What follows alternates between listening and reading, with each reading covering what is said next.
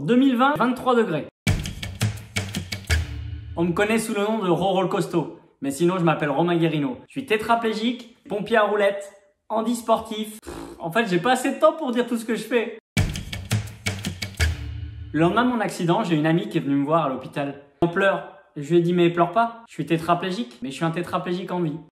Tu vois cette phrase? J'avais beau être dans la peau d'un handicapé depuis quelques heures seulement, je savais déjà qu'elle avait de l'importance. Parce que comme tout le monde, avant de me retrouver en fauteuil, j'ai dû déjà dire, le jour où ça m'arrive, je me tire une balle.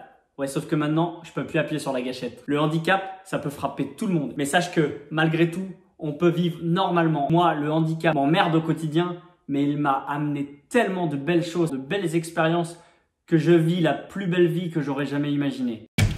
Mon handicap, je t'emmerde autant que je t'aime.